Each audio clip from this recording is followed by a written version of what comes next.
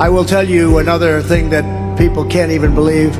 I will keep men out of women's sports. Okay? No, did you ever hear of anything like that? You saw the other day the weightlifter and this young woman, 19 year record. He has the record by like 90 pounds or something like. It is so stupid.